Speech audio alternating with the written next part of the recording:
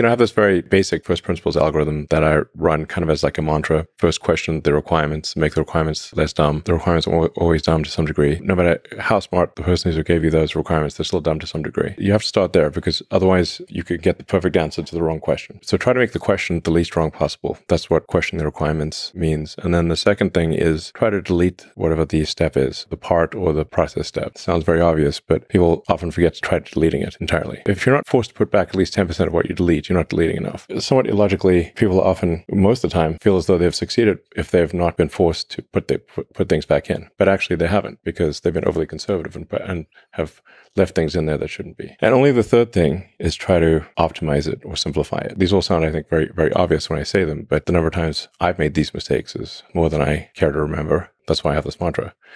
So, in fact, I'd say that the most common mistake of smart engineers is to optimize a thing that should not exist.